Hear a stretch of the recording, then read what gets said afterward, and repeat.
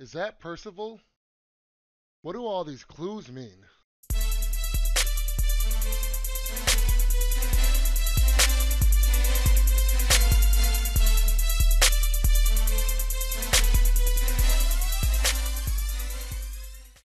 Welcome back to Strong Arm Flix. I'm your boy T Flame, and Zack Snyder dropped a picture of, I believe it's Percival, on his Vero account, and it's got the letters 214. 214.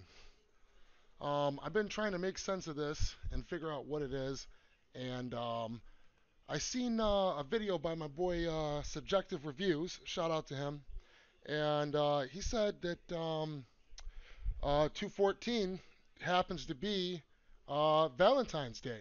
And also, um, the story of Percival is a story about uh, being distracted by love, if you strip it down to its core. I mean, it's about the devil disguised as a beautiful woman, yes, but if you break it down to its core, to its essence, it's a story about being distracted by love. And what what better reference to Valentine's Day is there than that? Not to mention, 214 is actually Valentine's Day. So I think that uh, this is hinting at something coming Valentine's Day, guys. So be on the lookout for that.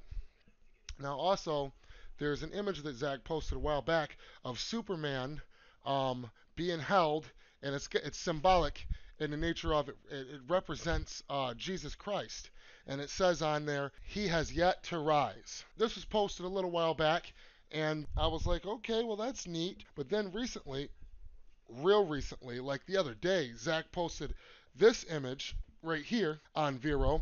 And this one says, the ship can feel his presence. And it's a never before seen of the fucking Flash uh, uh, in the Kryptonian ship with Superman's casket sitting there with his hands on it. And the ship can tell that it can feel his presence, like it says, and the little things are opening up and it's shooting out the Superman suits and shit like it did in Man of Steel when he would walk by and it showed the different shit.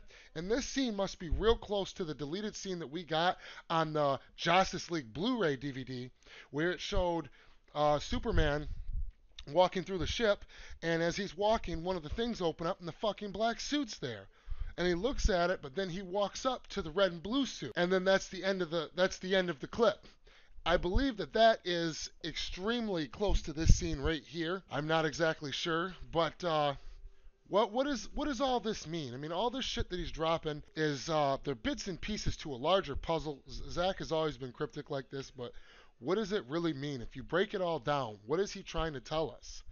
Well, from what I can tell, it's about birth, death, and then rebirth. Zack Snyder has always been symbolic in the nature of comparing Superman as a Jesus Christ like figure.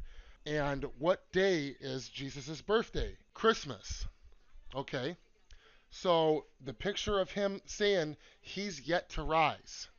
And it shows him and his arms are out like Christ, like when he was crucified. And then this image about the ship can feel his presence. What I think this is all hinting at, guys, I think that what he's trying to tell us is that Christmas Day, we are going to get an official announcement. This is, now don't get your hopes up too crazy. This is my theory. I think that what he's trying to say is that Christmas Day, we're going to get a fucking announcement about the Snyder Cut, an official announcement from Warner Brothers, and I believe that an official trailer or the movie itself will be coming out on Valentine's Day. So Christmas coming up, we'll get an announcement. Uh, Superman will be reborn, and we will get a official response from Warner Brothers. And then I believe that Valentine's Day, we will get our official trailer. What do you guys think about that? Let me know in the comment section below.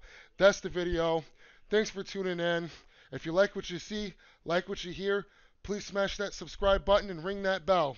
Till next time.